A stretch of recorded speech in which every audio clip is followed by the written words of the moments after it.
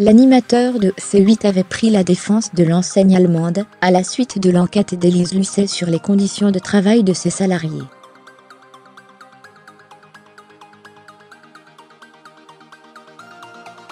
Dans son talk show, jeudi soir, il s'en est expliqué.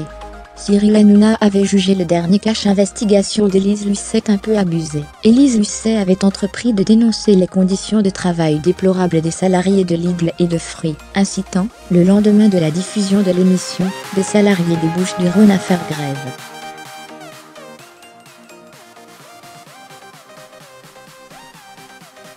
Une grève désormais terminée.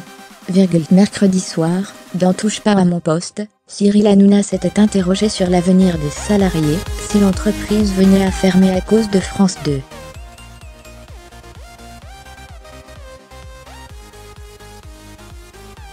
Mine de rien, c'est mettre en danger plein de gens, qui peuvent être au chômage, et ça, franchement, je trouve que c'est un peu abusé.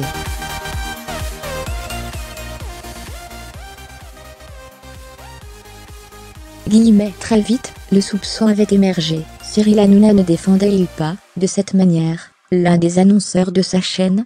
L'Express, qui avait contacté la régie pub de C8, avait obtenu au moins une confirmation. Lidl est bien un investisseur historique, dans les pages publicitaires du patron d'un C8, Vincent Bolloré.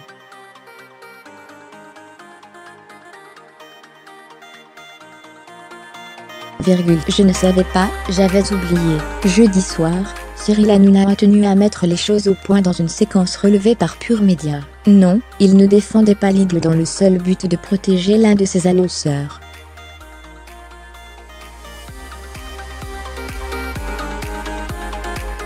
Je ne savais même pas qu'ils étaient partenaires de l'émission.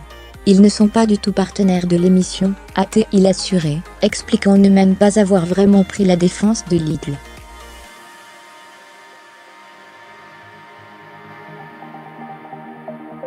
On a envie que tout le monde soit bien dans son travail, et ait des conditions correctes.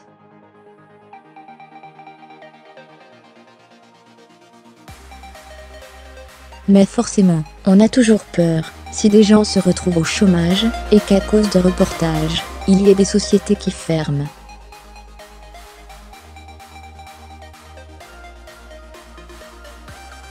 Point en tout cas, ça a fait avancer les choses, il y a des salariés qui vont avoir des meilleures conditions de travail, donc on ne peut dire que bravo.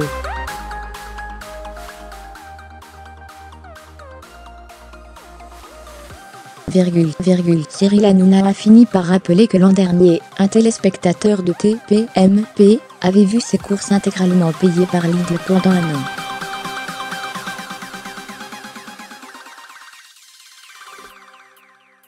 J'avais complètement oublié. Lidl avait fait preuve d'une grande générosité. Point, point, crochet droite c'était l'année dernière. Je ne me rappelais plus du tout que c'était Lidl.